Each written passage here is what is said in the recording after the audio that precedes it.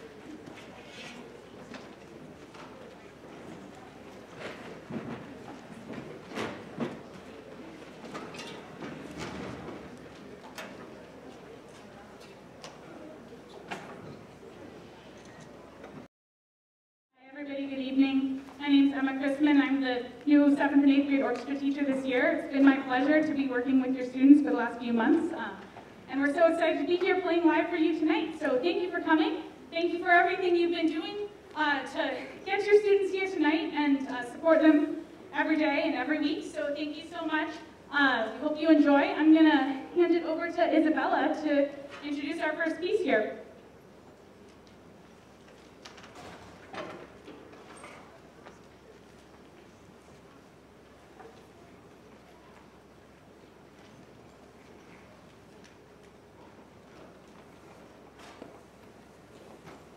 Hello, my name is Isabella and I play the violin. The first piece we're going to play is Jupiter, written by Gustav Holst. Holst wrote seven movements for different planets, and Jupiter is written as the bringer of joy. We hope you enjoy our performance. Thank you.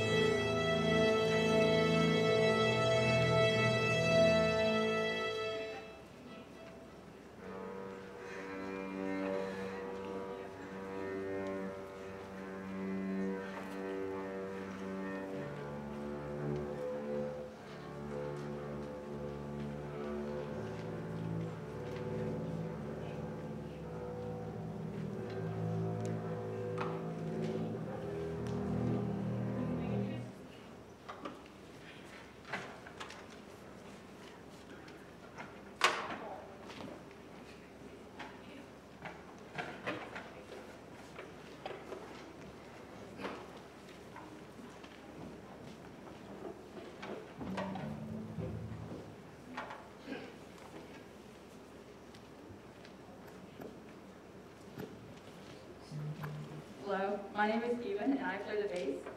The first piece we'll be playing is called Geometric Dances by Richard Meyer. It has three movements, and the title of each movement has to do with the rhythm and musical style of each movement. Please hold your applause until the end of all three movements. We hope you enjoy Geometric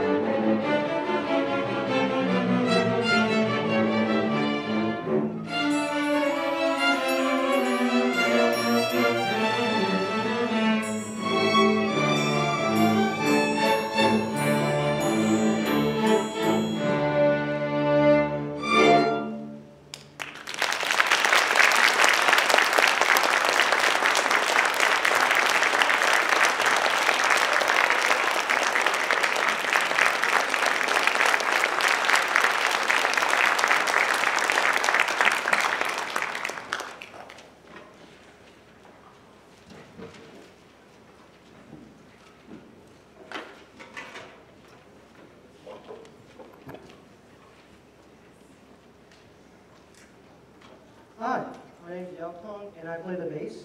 And uh, our last piece on tonight's concert is A Flat, uh, which was originally by the hip-hop classical group Black Violin. I like the song it's very groovy. Hope you enjoy it.